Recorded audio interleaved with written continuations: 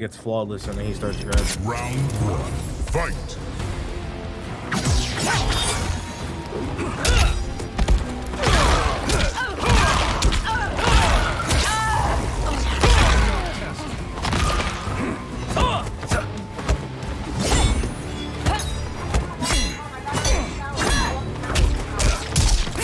How's that counter on blocking? No move.